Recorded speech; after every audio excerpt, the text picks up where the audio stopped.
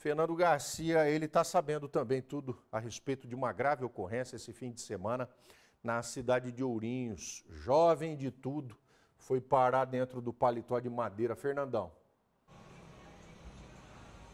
Wesley Espada tinha 35 anos de idade, Rodrigo. O acidente que aconteceu na região central às 10 horas da noite nesse final de semana, ali na cidade de Ourinhos. Acidente que aconteceu ali na Avenida Altino Arantes, Rodrigo. A, a, informação que a gente tem é que ele acabou perdendo o controle desse veículo, não se sabe porquê. Inclusive, Rodrigo, é uma coisa que chama bastante atenção, parecido com aquele acidente que teve daquele rapaz aqui em Marília, que causou bastante comoção, né? Perdeu o controle praticamente sozinho e acabou batendo contra o muro. Ele morreu na hora.